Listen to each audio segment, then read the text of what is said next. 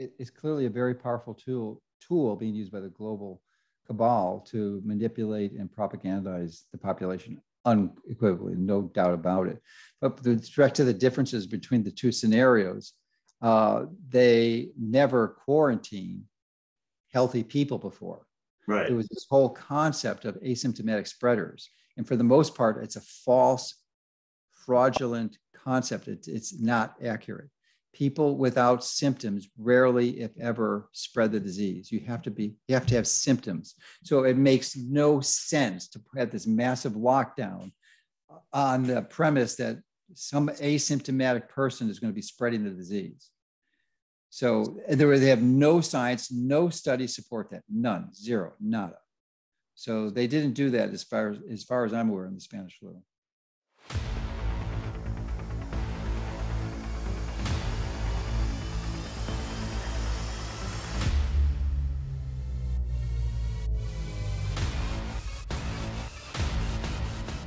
Hi, welcome to the Wiggin Sessions. I'm Addison Wiggin. I have with me today Dr. Joseph Mercola.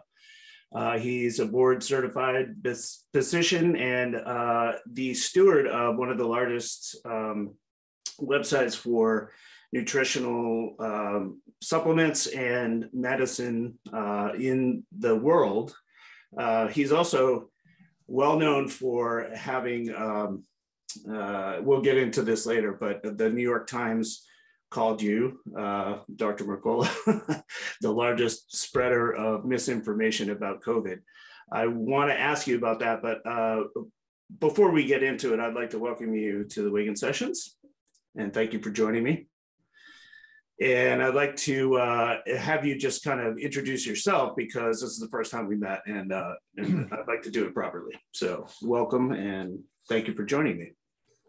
Well, thanks for having me. So uh, I'm a board certified family physician and I've treated tens of thousands of patients uh, and was brainwashed by the medical system to prescribe medications. It took me about six, seven years to get out of that. And then as I acquired knowledge and information, um, I integrated one of my other passions, which was technology, because I um,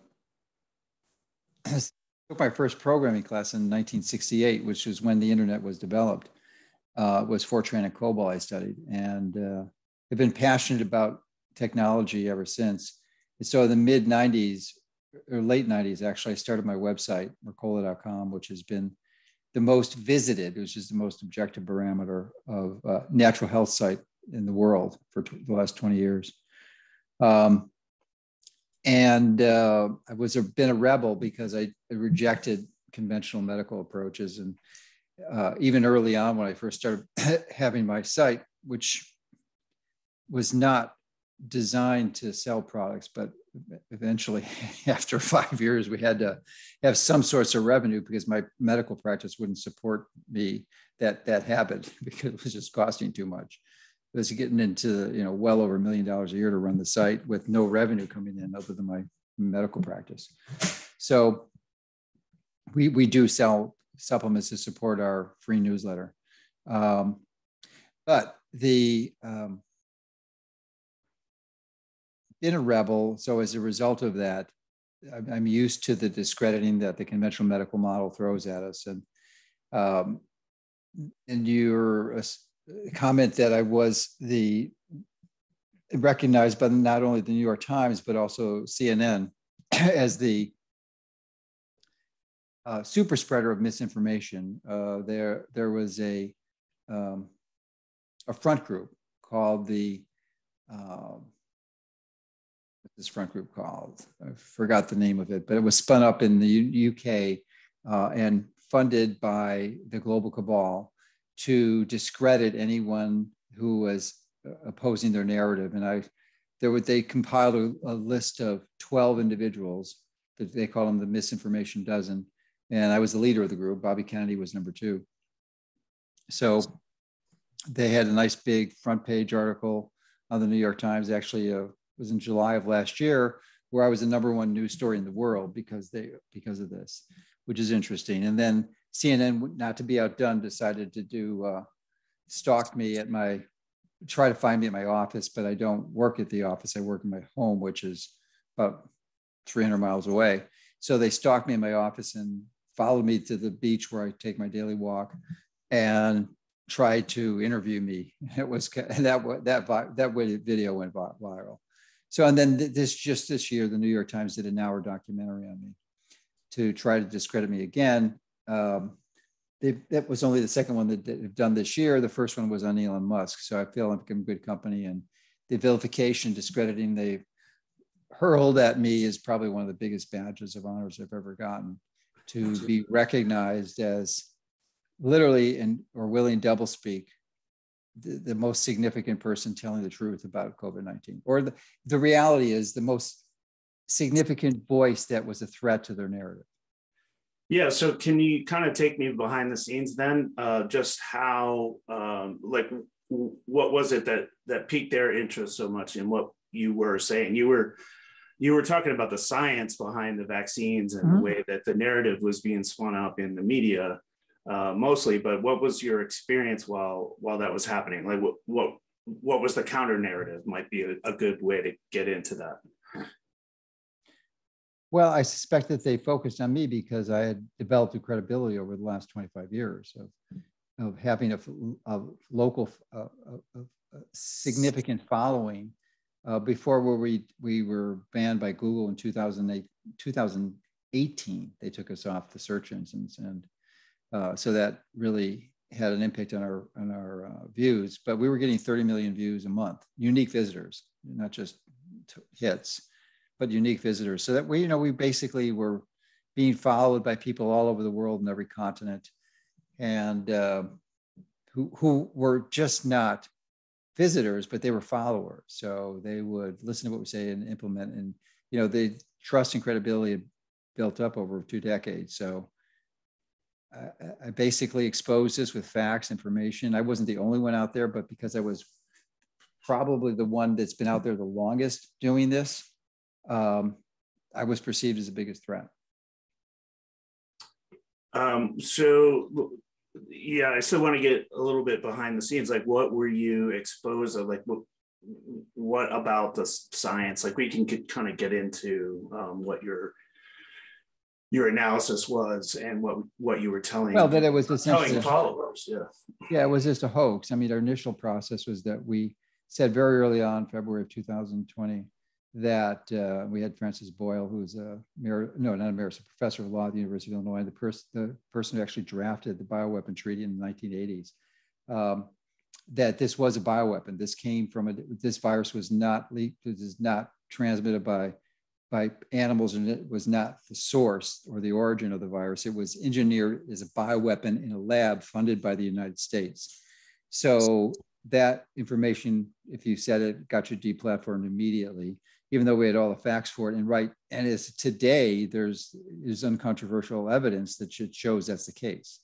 So uh, that was one. Then uh, more importantly i think to warn people that this there was a narrative going on and telling them the details behind what was the, the lies and the propaganda that were being spread and uh, specifically about the fact that there were ways to treat this, that you did not have to, that you could improve your immune system. Something as simple as vitamin D, which I had an article published in Nutrients in October of 2020.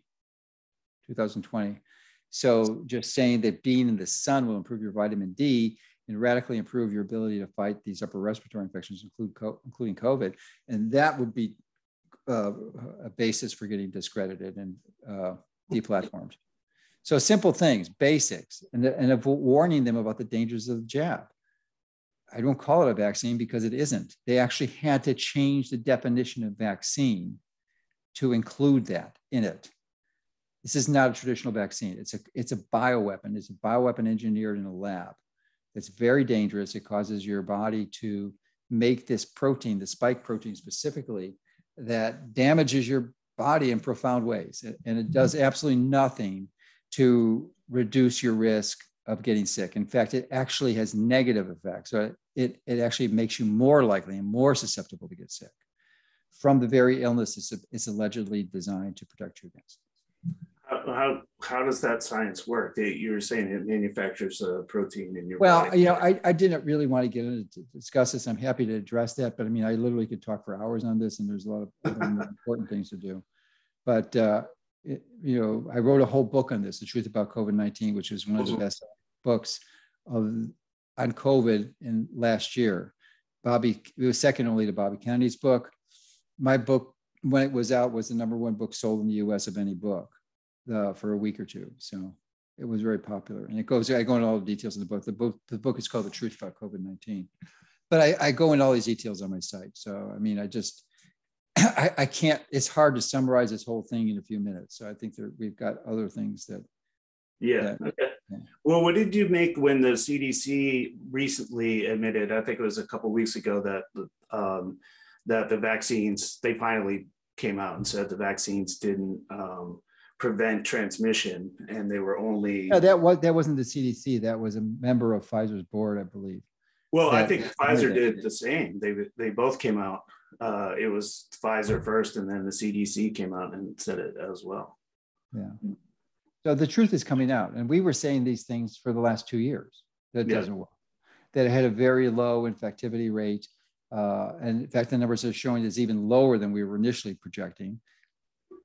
And the people and the fraud that was involved in the testing process and identifying people who were affected with the disease and the just shocking change, changing, just redefining basic words and definitions.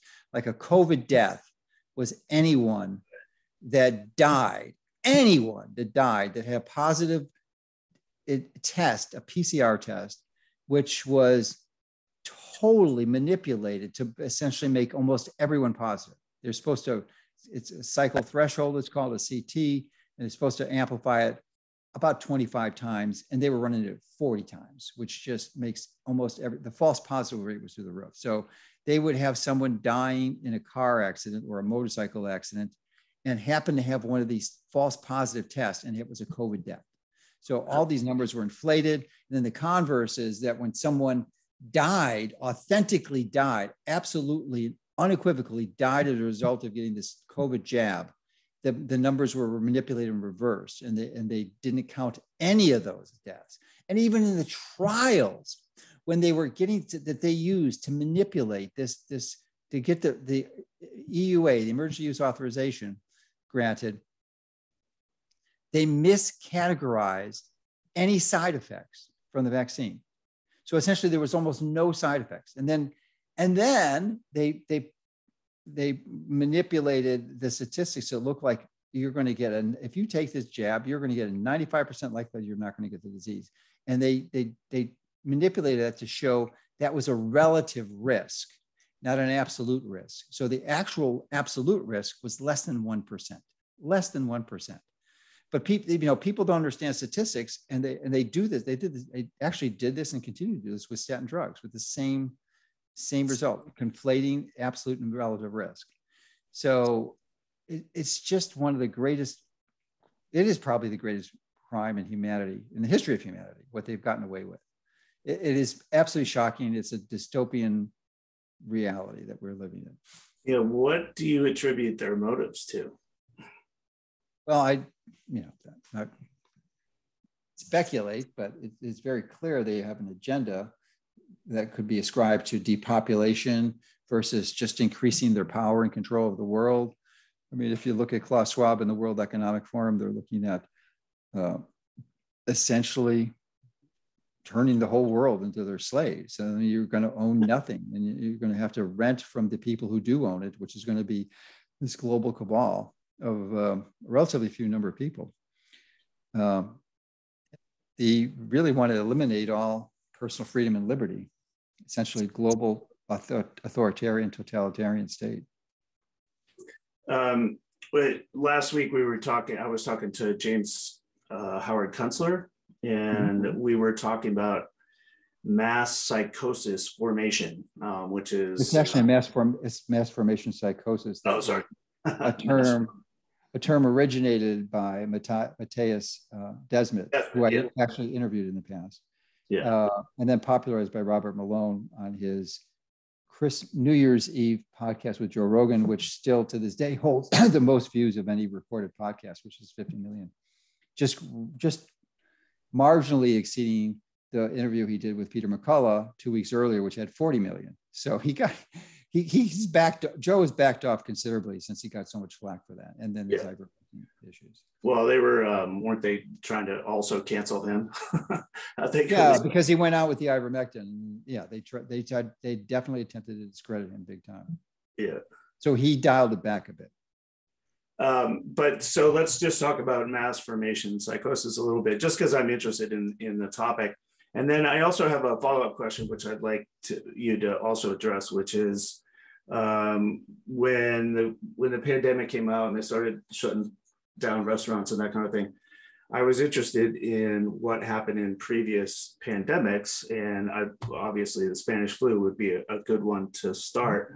What, um, if you were studying that, what what was different back then? Uh, obviously, people died, and they they counted, um, you know, the deaths, and then they like in this pandemic, they compared the two. But what was different back then? I, I, I read a lot of like news reports that they there were mass spreader events and there were um, you know they shut down restaurants and they and it disrupted the economy in a similar way, but not to the degree. And I, I want to blame it on uh, social media, but I don't, I don't know if that's true. No, social media is, is, is, clearly a very powerful tool tool being used by the global cabal to manipulate and propagandize the population unequivocally, no doubt about it. But with respect to the differences between the two scenarios, uh, they never quarantine healthy people before. Right. There was this whole concept of asymptomatic spreaders. And for the most part, it's a false, fraudulent concept. It's, it's not accurate people without symptoms rarely if ever spread the disease. You have to be you have to have symptoms. So it makes no sense to have this massive lockdown on the premise that some asymptomatic person is going to be spreading the disease. So there they have no science no studies support that none zero nada. So they didn't do that as far as, as far as i'm aware in the spanish flu.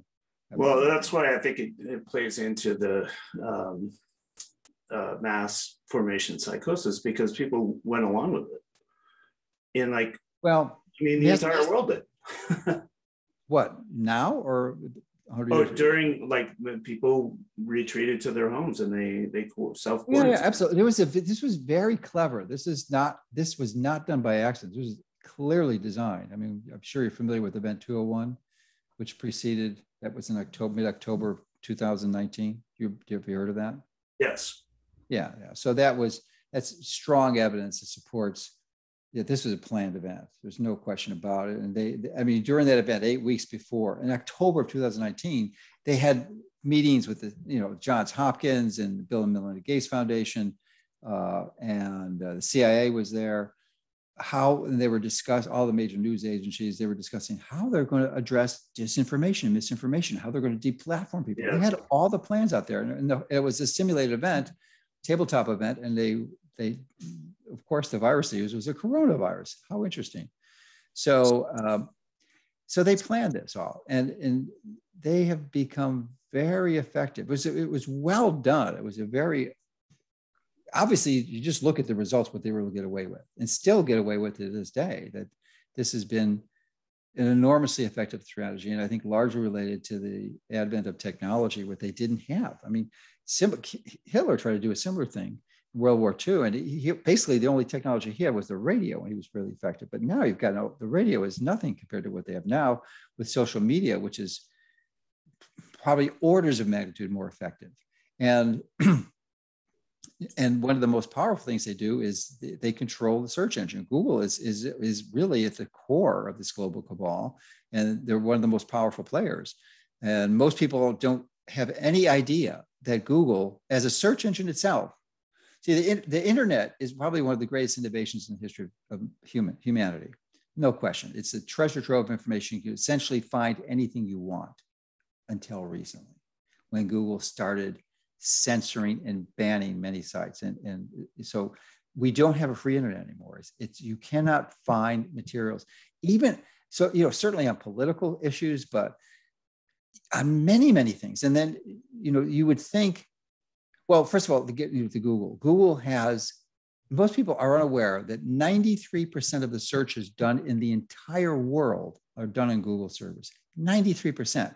And it's probably closer to 97 or 98% because all the other search engines, they most of them use Google's results and manipulate it in some way with and modify it uh, to, to, to, their own needs, but essentially maintain the same uh, banning uh, and uh, censoring of information on sites. So the site still exists. Like my site would be an example. We still exist, but we're not in their search engines. So unless you know the URL, the name of the site, there's no way you're going to find it. You just will not find it. So, so what, why is that important? Because you can't people search became, be, right. People became used to find using the internet as, as a way that they can research the truth. And they don't understand that it's virtually impossible to use a search engine nowadays to research the truth because you're only finding a very small percent, well, maybe small, I don't know the specific percent, but uh, uh you're not getting the entire picture. You are not. It's, so, and we can see this with the COVID 19 propaganda. you see anything that's against the narrative will not be found in the search engine. It just will not. You have to get it on alternative media. Uh, so you've got to go to the sites directly, or you have to have news feeds that that access those sites because it's not going to show up in your search engine at all. It just will not. So they're you. That's one of the tools they use, and along with social media, you know, controlling Twitter and Facebook, Facebook primarily too. Facebook and Google and Twitter are the three big tools they're using to literally create the narrative and contribute to the mass formation psychosis you're referring to. That is what did it.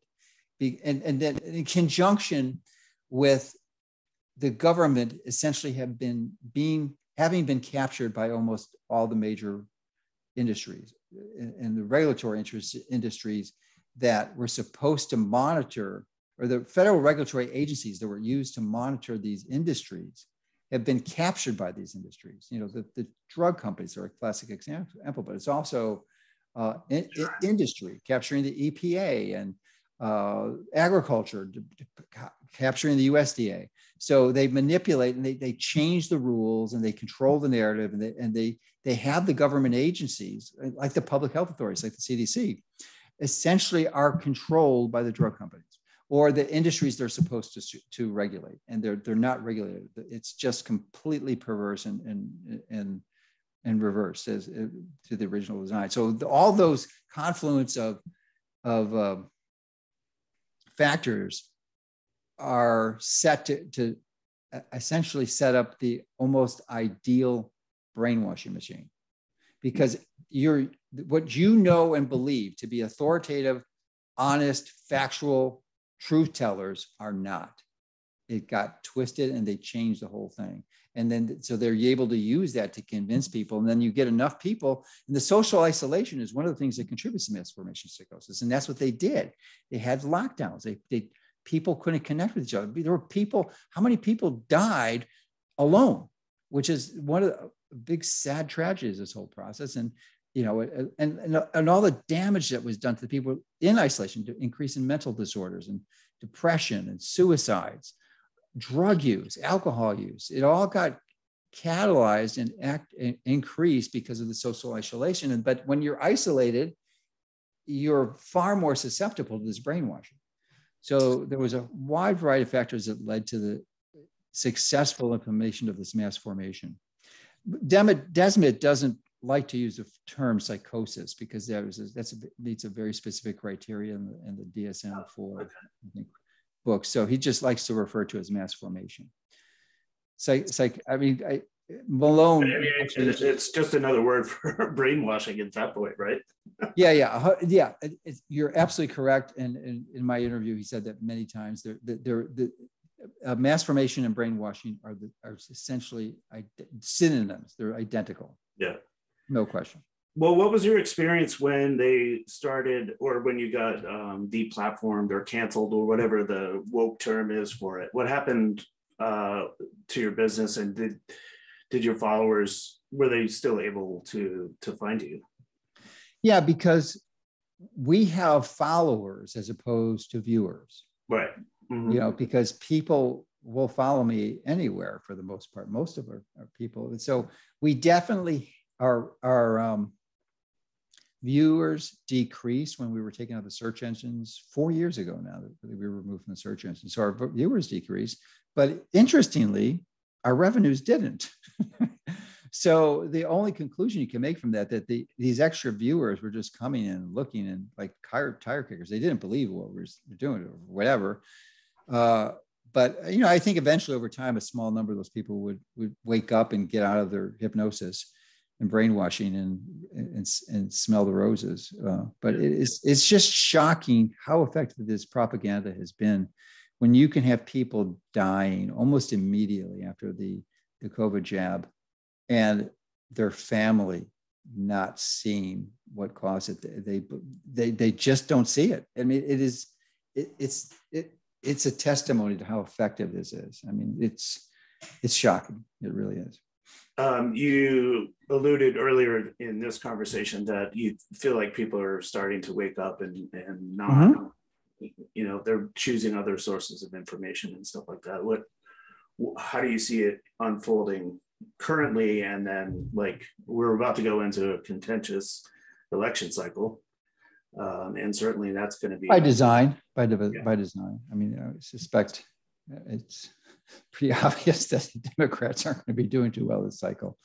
Yeah. Uh, but it doesn't matter. Republicans, for the most part, are any better. They've got their own flaws. So it's it's a system designed to create polarization and division. And reality is that you know both of the parties are bad. And DeSantis, you know, I was in Florida, so we have. I mean, he did a great job with the last hurricane. Shockingly, we've had islands outside of Cape Coral, Sanibel Island, and Pine Island, that they had bridges to them that were just destroyed, and most people thought yes. it would take a few, take a few years to recover. And he had those bridges back in two weeks. I mean, it, it, it's just unbelievable what he did.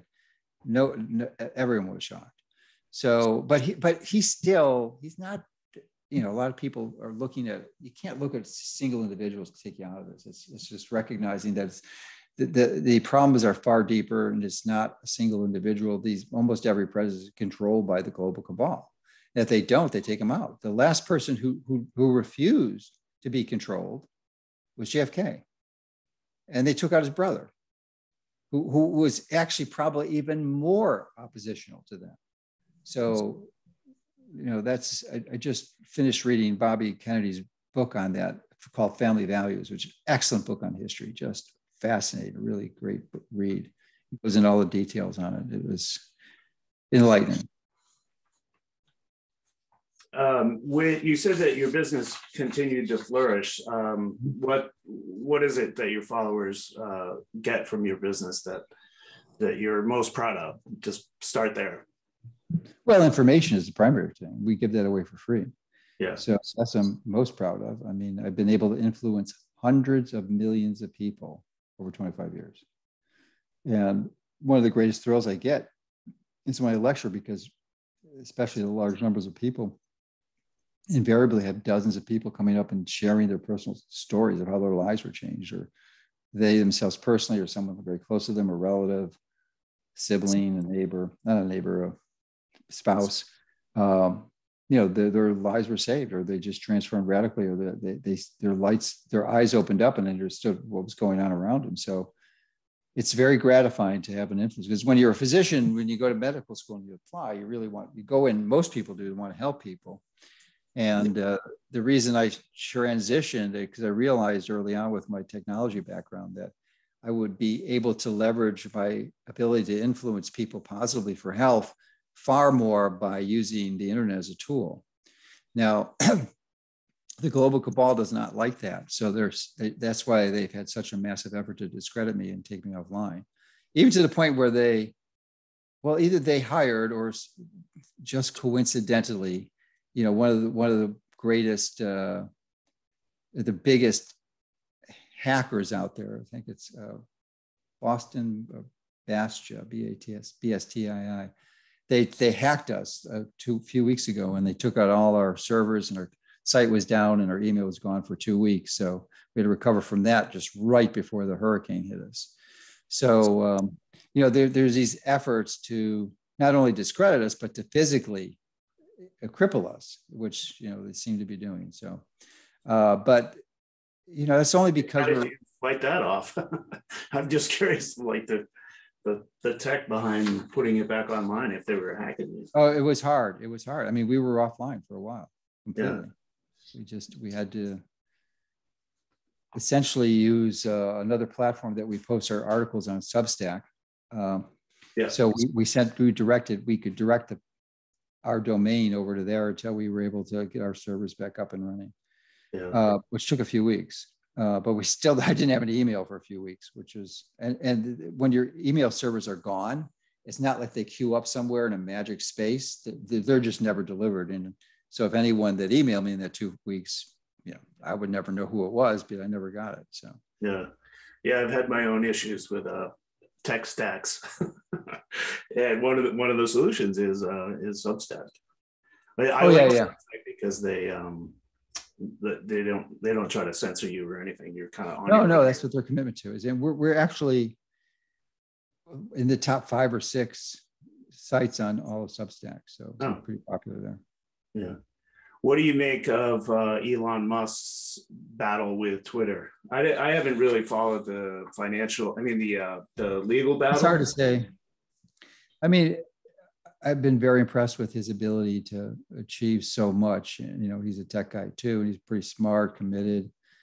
Uh, but he's got a lot of negatives on him, you know, because he's really involved with projects like uh, Neuralink, which is transhumanism, which seems to be one of the goals of the global cabal. Transhumanism for sure. He endorses these I mean, he was a fan of crypto, but in some ways he supported things that lead to like universal basic income and and uh, crypto, uh, central bank digital currency CBDCs. Mm-hmm. So he's got some problems, and you know anyone, anyone, no one put it this way, no one gets to acquire that much wealth without cooperating with the global cabal. They they they they will they can make or break you. They don't let you get that big unless you're cooperating. They just don't. There's just no way. And he has ostensibly the wealthiest person in the world, but that's a bunch of baloney. And he even, I've actually heard him say it once. It's like he referred to Putin as being wealthier than him because he has so much control and think control power.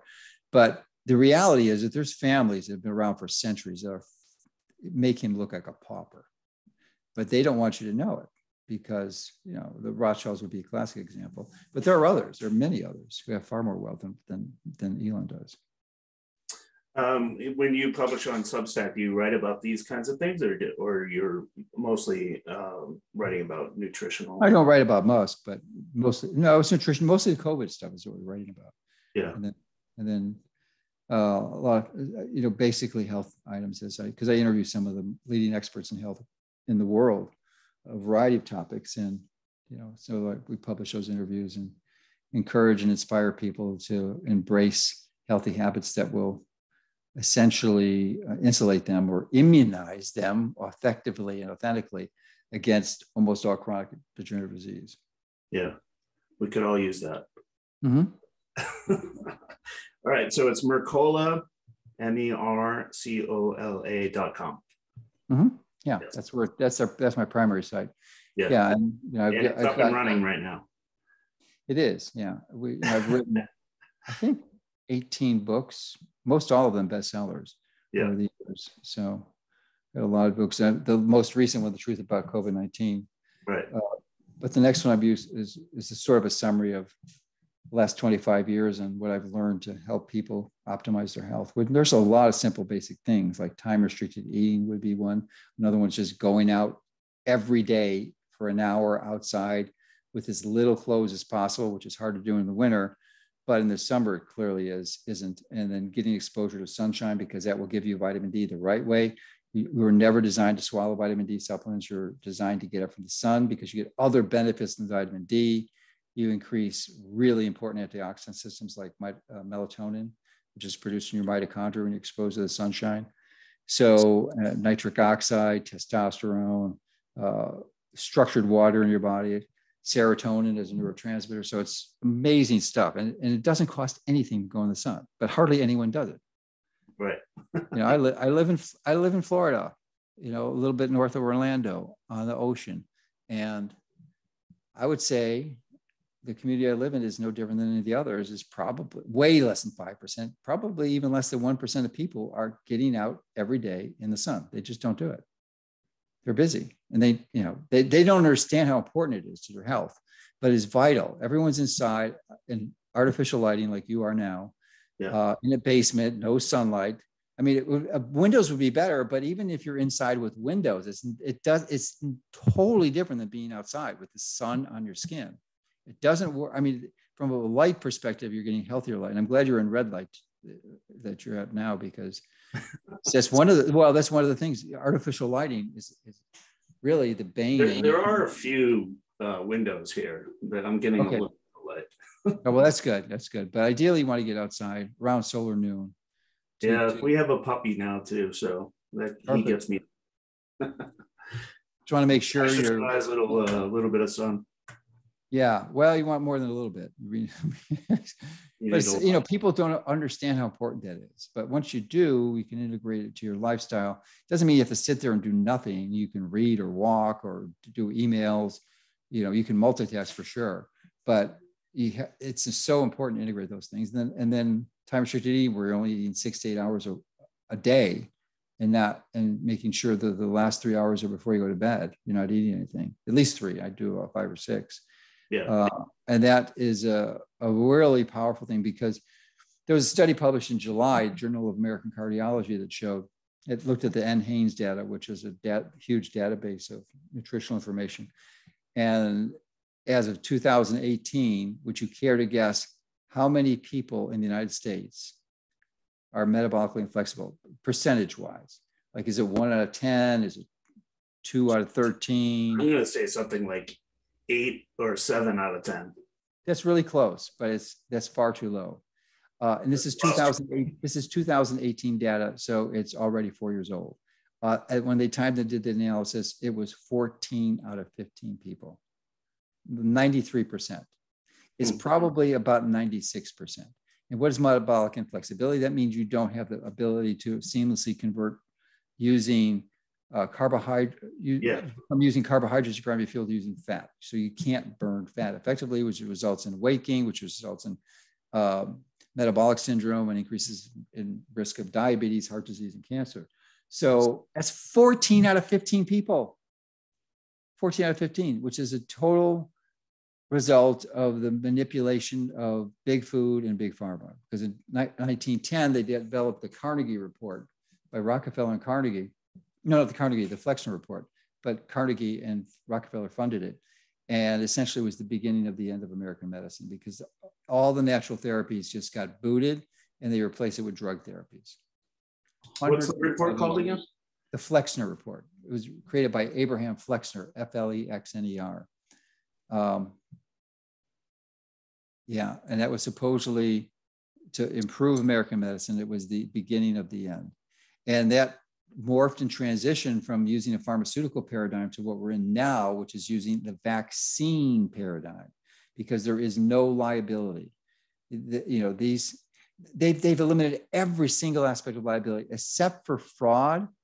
But when you control uh, the Department of Justice and every federal court, the likelihood of successfully litigating against these criminals is close to zero because they got most of the law on their side. They were able to change the laws to protect them, to insulate them so that they could kill many, many people and harm for sure, seriously harm, disable, and cripple people and not have any legal or financial consequences as a result of that. They're essentially immune. Um, that first started in 1986, uh, but then it just got progressively worse and worse and worse to the, the ridiculous scenario that we have today. So anyway, the, the vaccines have this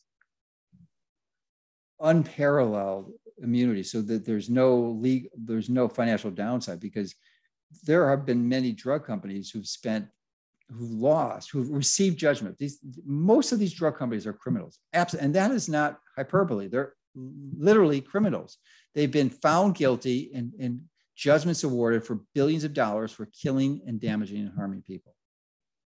Knowingly, not accidentally. This is knowingly they've done it. They're criminals. They're absolute criminals. They're liars.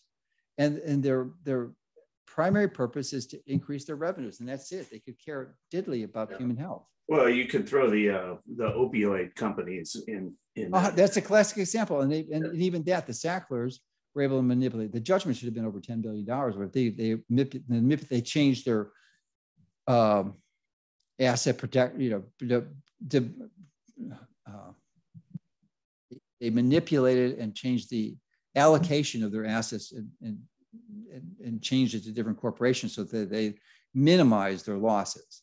Mm-hmm. So I think it was still a few billion dollars. I don't recall the details of it, but yeah, that's a classic example, the most recent example, Purdue Pharma, and uh, and, and and even Johnson and Johnson, I think, got hit for a billion or two dollars. But they're, that's not their first rodeo. They've had many multi-billion-dollar lawsuits against them. Asbestos and the baby powder was one I could think of, and I think there was others. It was Risperdal, I believe.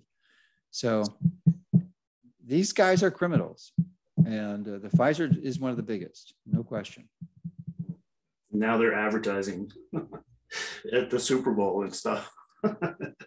you know who pays for the advertising? You know who pays for a lot of it? That was another thing that we expose is that the US government took a billion dollars from taxpayers that they printed, of course, and, and used it to spread propaganda on the, on the, on the mainstream media.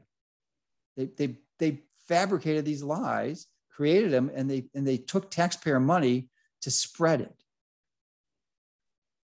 So, and they're advertising, and they give these, you know, all these COVID jabs that you, I probably know they were given away for free. Now, some not for free ostensibly, they didn't charge the people who received them, but they were paid for by the taxpayers.